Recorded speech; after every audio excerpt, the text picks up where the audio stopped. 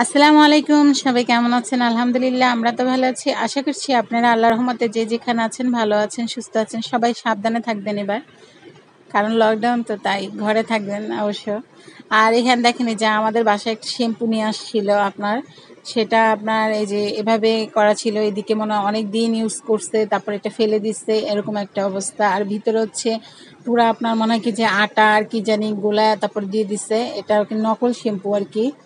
আর আমাদের জন্যই এইটা হয়। কারণ আমরা যখন খোলটাকে ফেলে দিই, এক, দুই টাকা বিক্রি করার জন্য, তখনই ওরা এটাকে ধুয়ে, মুছে, তারপর হচ্ছে এখানে নকল শ্যাম্পু বানানো হয়।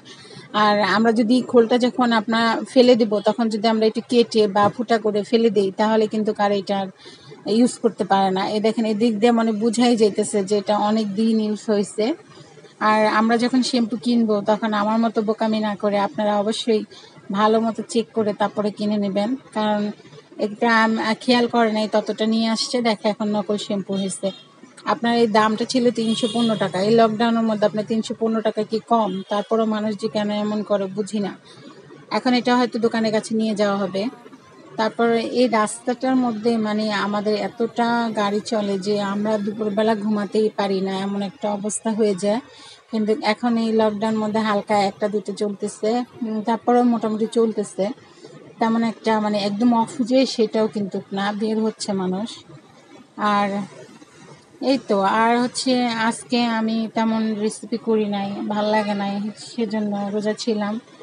সেজন্য বসে বসে বা আপনার জানলা দিয়ে আপনার বাইরের দৃশ্য দেখতেছি আর আপনাদের সাথে শেয়ার করছি।